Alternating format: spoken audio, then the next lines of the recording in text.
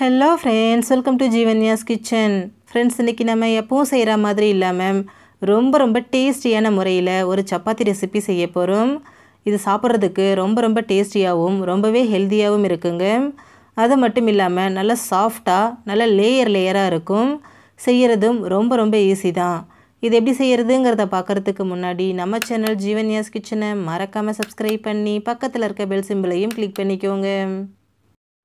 நம்ம இன்றைக்கி வெள்ளரிக்காயில் தான் சப்பாத்தி செய்ய போகிறோம் அதுக்கு ஃப்ரெஷ்ஷான வெள்ளரிக்காய் எடுத்துகிட்டு அதில் அடிப்பகுதி நுனிப்பகுதி ரெண்டையும் கட் பண்ணிவிடுங்க கட் பண்ணிவிட்டு அது மேலே இருக்கக்கூடிய தோல் எல்லாத்தையும் நல்லா சீவி எடுத்துருங்க. பாருங்கள் நான் இன்றைக்கி ரெண்டு வெள்ளரிக்காய் எடுத்து அதில் இருக்கக்கூடிய தோல் எல்லாத்தையும் சீவிட்டு எடுத்து வச்சுருக்கேன். இப்போ இதை இந்த மாதிரி ரவுண்ட் ரவுண்டாக பீசஸாக கட் பண்ணி எடுத்துக்கோங்க. நம்ம அரைக்க தான் போகிறோம் அதனால் சைஸோ ஷேப்போ நமக்கு தேவையில்லை. பாருங்கள் எல்லாத்தையும் கட் பண்ணியாச்சு. கட் பண்ணினதை அப்படியே ஒரு மிக்சர் ஜாரில் சேர்த்துக்கோங்க.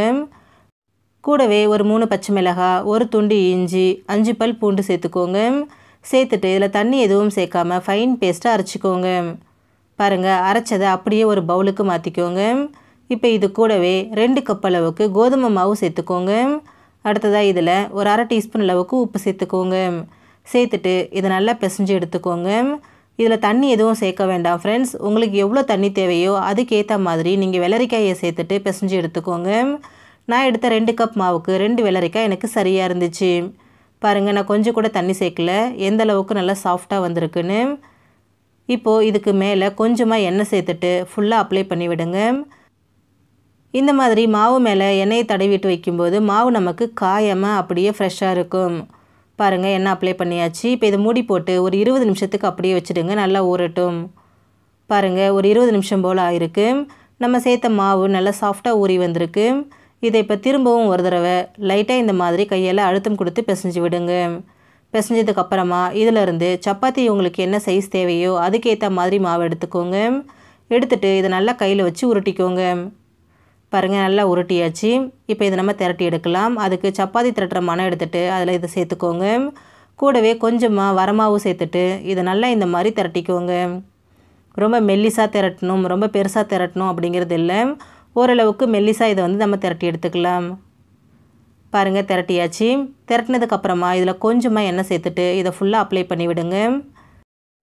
ஃபுல்லாக எண்ணெய் அப்ளை பண்ணதுக்கப்புறமா இதை வந்துட்டு இந்த மாதிரி ரெண்டு ஃபோல்டிங் போட்டு மடிச்சுக்கோங்க. ஷேப் வந்து உங்களோட விருப்பம். எப்படி வேணாலும் நீங்கள் மடிச்சிக்கலாம். மடிச்சுட்டு இதை திரும்பவும் திரட்டிக்கோங்க. நான் இன்றைக்கி ட்ரையாங்கிள் ஷேப்புக்கே பண்ணுறேன் இந்த மாதிரி நம்ம எண்ணெய் தடவிட்டு அதை மடித்து செய்யும்போது நல்லா லேயர் லேயராக நமக்கு சப்பாத்தி கிடைக்கும்.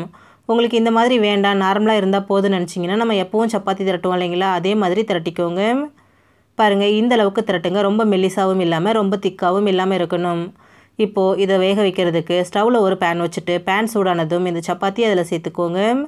சேர்த்துட்டு இது ரொம்ப நேரத்துக்கு அப்படியே விடக்கூடாது. ஃப்ரெண்ட்ஸ் ஸ்டவ்வை மீடியம் ஃப்ளேமில் வச்சுட்டு அப்பப்போ இந்த மாதிரி திருப்பி விட்டுக்கிட்டே இருக்கணும். இந்த மாதிரி நம்ம அப்பப்போ திருப்பும் போது தான் எல்லா பக்கமும் ஒரே மாதிரி ஈவனாக வெந்து நல்லா நமக்கு சாஃப்டாக கிடைக்கும். பாருங்கள் நமக்கு நல்லா சப்பாத்தி நல்லா உப்பி எழும்பி வருது. இப்போ இது ரெண்டு பக்கமும் நல்லா வேக விடுங்க. சப்பாத்தி ரெண்டு பக்கமும் ஓரளவுக்கு வெந்ததுக்கப்புறமா இதில் வந்து எண்ணெய் தடவிக்கோங்க. பாருங்கள் இந்த மாதிரி ஃபுல்லாக தடவினதுக்கப்புறமா இதை திருப்பி போட்டு இன்னொரு பக்கத்துக்கும் எண்ணெய் தடவிக்கோங்க. இந்த மாதிரி லாஸ்ட்டாக எண்ணெய் தடவும் போது சப்பாத்தி ரொம்ப நேரத்துக்கு அப்படியே சாஃப்டாகவே இருக்கும். இப்போ பாருங்கள் ரெண்டு பக்கமும் நல்லா வெந்து வந்திருக்கு. இப்போ இதை நம்ம எடுத்துடலாம். எவ்வளோ பர்ஃபெக்டாக வந்திருக்குன்னு பாருங்கள் உங்களுக்கு இந்த மாதிரி ஃபோல்டிங்ஸ் வேண்டாம் அப்படின்னா நார்மலாக இதே மாதிரியே சப்பாத்தியை தேய்ச்சி நீங்கள் சுட்டு எடுத்துக்கோங்க. அவ்வளோதான் ஃப்ரெண்ட்ஸ் நமக்கு ரொம்ப ரொம்ப சாஃப்டாக ரொம்பவே டேஸ்டியான வெள்ளரிக்காய் சப்பாத்தி ரெடி ஆகிடுச்சு ஃப்ரெண்ட்ஸ் நீங்களும் இந்த ரெசிபியை ட்ரை பண்ணி பாருங்கள் எவ்வளோ சாஃப்டாக எந்த அளவுக்கு நல்ல லேயர் லேயராக இருக்குன்னு பாருங்கள் ஃப்ரெண்ட்ஸ் இந்த வீடியோ உங்களுக்கு பிடிச்சிருந்தா லைக் பண்ணுங்கள் ஷேர் பண்ணுங்கள் கமெண்ட் பண்ணுங்கள் ஜீவன்யாஸ் கிச்சனை சப்ஸ்கிரைப் பண்ணி பக்கத்தில் இருக்க பெல் சிம்பிளையும் கிளிக் பண்ணிக்கோங்க. அப்போ தான் நம்ம சேனலில் நான் போடுற வீடியோஸோட நோட்டிஃபிகேஷன்ஸ் உடனுக்குடனே உங்களுக்கு வரும். தேங்க்யூ